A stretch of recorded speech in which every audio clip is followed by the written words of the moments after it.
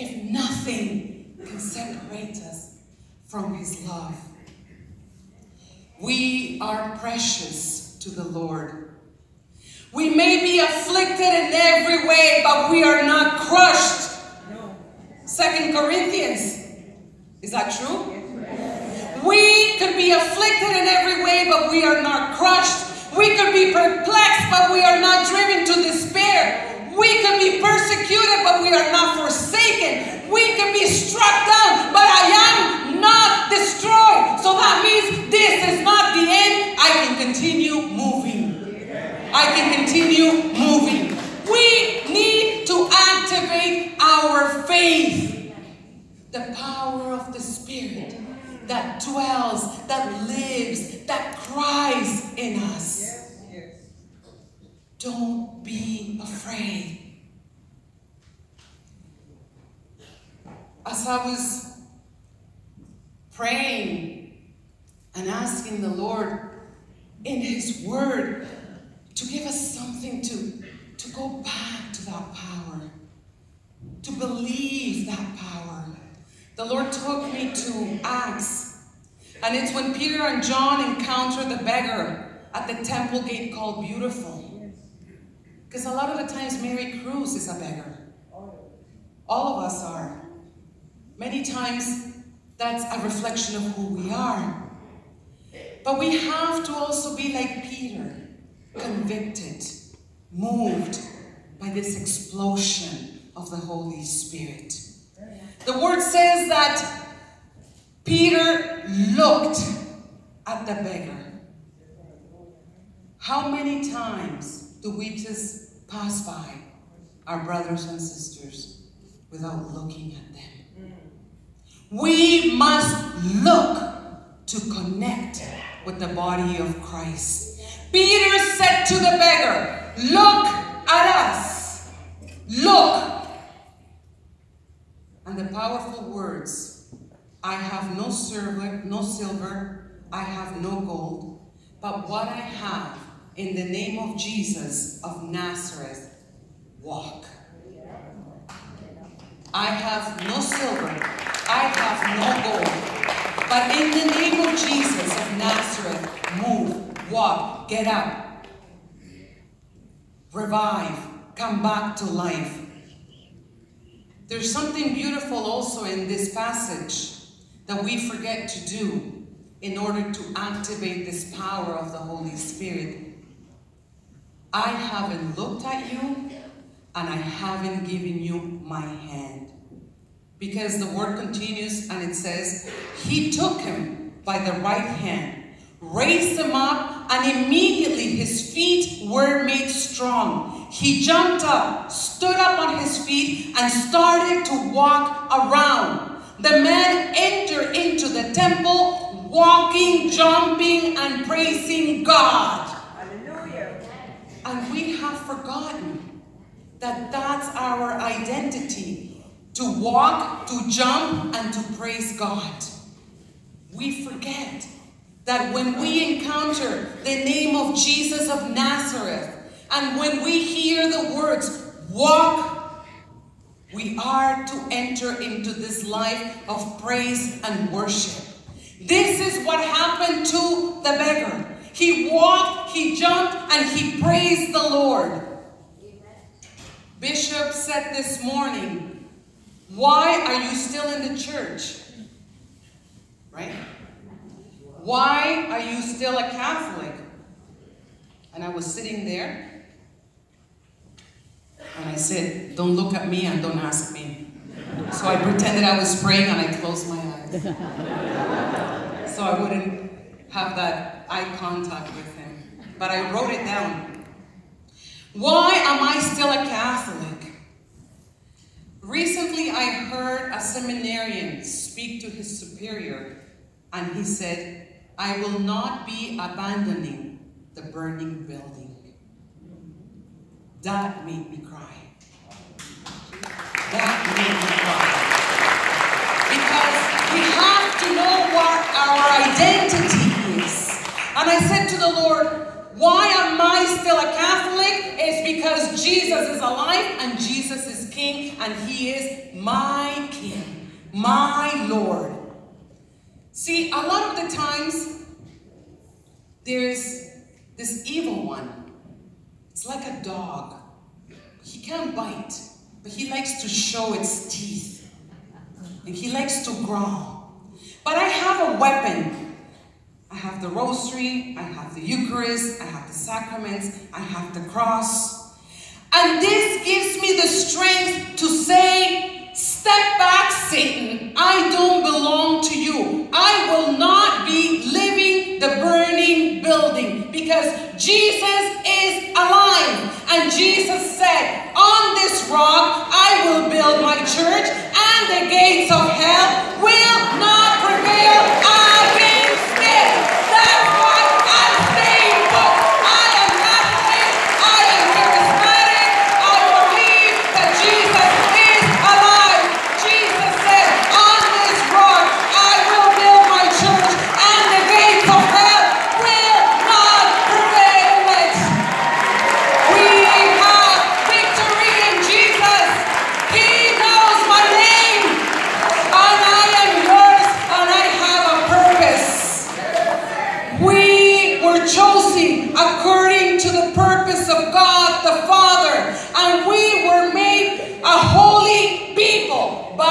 His Spirit. Holy people as His Spirit to obey Jesus Christ and to be purified by His precious blood. Amen. I am yours, Lord. I belong to you. I have a purpose. What is your value? The kingdom of heaven is like a merchant in search of fine pearls. On finding one pearl of great value, he went and sold everything he had and bought the one pearl. Today, we are here and we are that pearl of great value. What is your value? You want to know what you are worth? Your value is his blood, his death, but he rose from the dead and he is seated at the right hand of the Father. Jesus glorified and alive. That is my value. That's how much I am worth. I am a pearl of great value. You are a pearl of great value. Look at the person you have next to you. That person is a pearl of great value. Hallelujah. Amen. Amen. We are pearls of great values. And if you know me, you know I like to use all these things. This is a beautiful shell that my beautiful, gorgeous husband gave to me. He actually went into the ocean, into the bottom, and he got this for me. And I was meditating on this beautiful pearl. Well, I actually put the pearl because the shell was empty. that pearl of great value. Jesus today comes as that merchant who didn't hesitate to plunge, to dive into the ocean, looking for you, looking for me. This will help us understand what we are worth, and this will restore our identity. The price he paid for us was his own life. My daughter recently got married, and my daughters are here too. And my, I'm gonna say it in public for the first time. My son-in-law, I'm a mother-in-law officially. When I went to see him, I shared a little bit about the pearl. and after he got married, he sent me this gift. And it's a shell. And it has two true mother pearls representing Stephanie and Samantha. My two pearls, my two girls. This has a lot of meaning. And I brought it here to show that this is you. That Jesus goes to the bottom of the ocean where it's dark, cold, dangerous, and he doesn't care about that. But he goes there to rescue that one fine pearl. Because, is that picture there? Oh, there, look, that's me there. That's me last week. And you know why I asked them to put it there? Not because I wanted you to see me. No, I didn't even think of putting this here today. But I went to this restaurant and I was just mesmerized by the oysters. And then when I was preparing this, the Lord spoke to my heart and He said, What you're holding is what I'm working on shaving, carving, cleaning, sanding, because I want you and everyone to be a fine pearl. Don't be afraid of suffering. Don't be afraid of going into the fiery furnace. We have a purpose. We are called to be saints. I am yours. I am indeed an ordinary Christian that moves in the extraordinary power called Holy Spirit. That is the normal way of living. Anything else is abnormal. But society, the world, wants you to believe that living in the power of the Holy Spirit is weird, it's abnormal. But that is the purpose of the Lord. We need today a direct and divine intervention of the Holy Spirit to help us enter into this maturity of our faith. We are called once again to be bold. So before I finish, I want you to know that purpose has a beginning point. And the beginning point is yes, Lord. That's when it starts. A lot of the times we've had an encounter with the Lord, but we have not said our fiat, our yes. We are not called to be good people. We are not called to be part of a prayer group. We are called to be holy and to be saints. That is our goal. And that's why here in this current of grace, we pray along with our friend, Blessed Elena Guerra, to be able to live a perpetual Pentecost. Yes, Embracing the cross is not easy, but it's part of your Via Dolorosa, it's part of my Via Dolorosa, where I have to embrace the cross. I like to wrap up, and before we get into prayer, because I want to have about five minutes of prayer with you, the promise about receiving power, there was a word given to us in one of our prayer meetings. And I shared this with the province, uh, with the provincial team, CCRSO. And then I'm going to uh, read what they sent because they also received something. And this is the beauty of unity. This is the beauty of the body of Christ. The word given to us was, I am about to send more of my spirit. You will receive an explosion of my graces. Be prepared, be ready. So I wrote that and I sent it to uh, Brian. And then they sent within five minutes, Mary, we have received this word.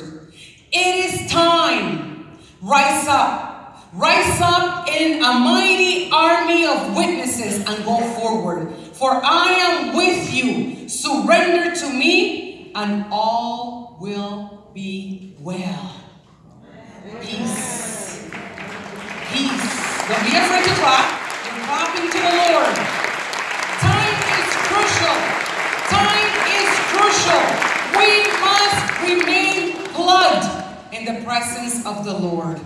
I'm going to ask you to please stand.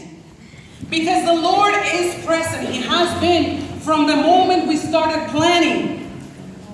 And the Lord tells us in His Word, and this is something that I would like you to also do go back to loving the Word.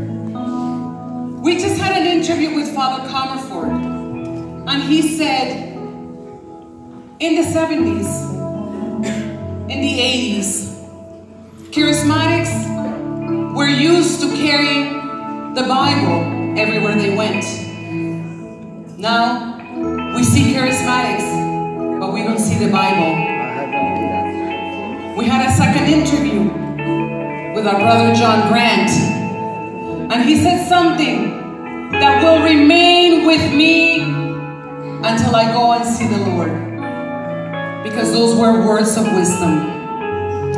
It will be a tragedy if you step away from the gifts of the Holy Spirit. It will be chaotic if we step away from the power of the Holy Spirit.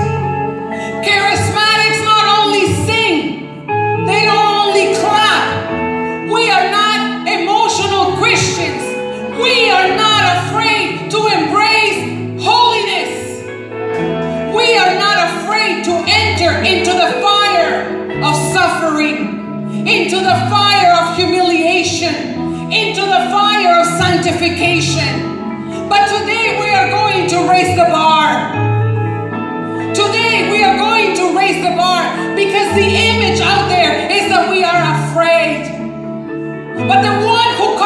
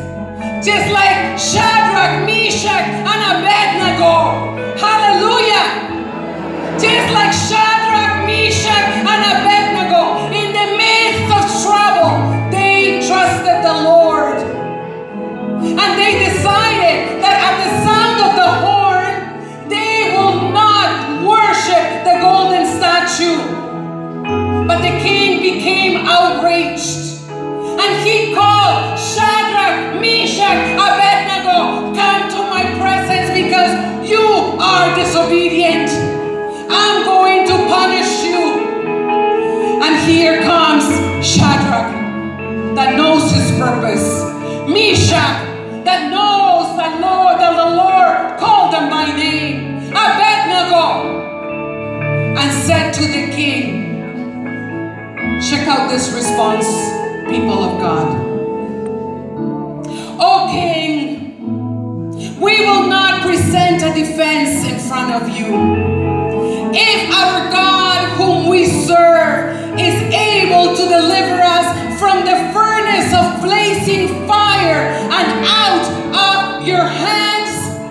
let him deliver us.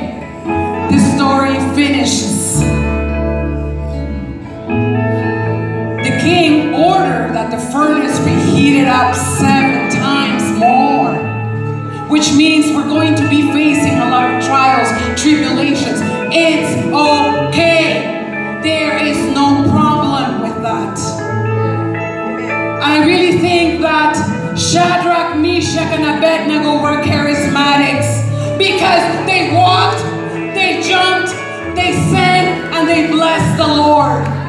Don't be afraid to walk. Don't be afraid to sing. Continue blessing the Lord in the midst of your blazing fire.